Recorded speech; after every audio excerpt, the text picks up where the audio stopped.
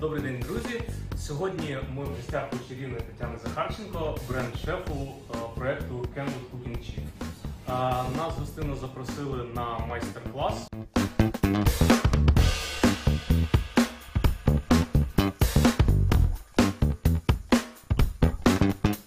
Лук раскроется еще более... э, Скажем так, масло позволит вкусовым качеством лука раскрыться должным образом.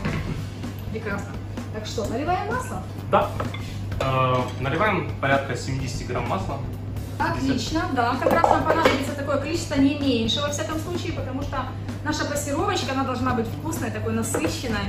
И как раз вот это количество даст супчику хороший яркий вкус. Ну что, запускаем?